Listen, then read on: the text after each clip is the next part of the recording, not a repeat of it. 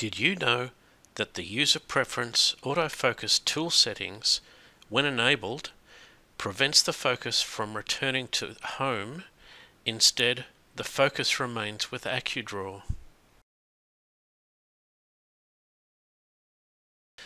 Let's take a look at this.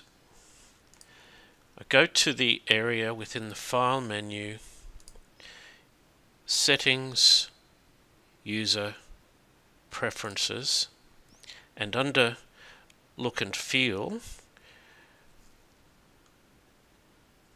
when the autofocus tool setting is turned off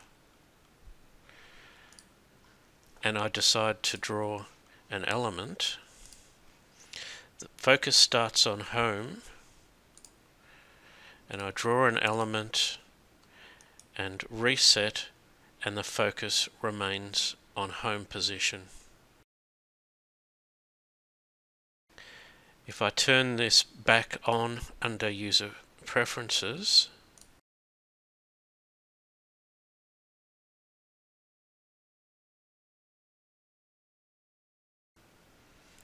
and as you can see, starting with the dialog focus at the tool, I will draw a line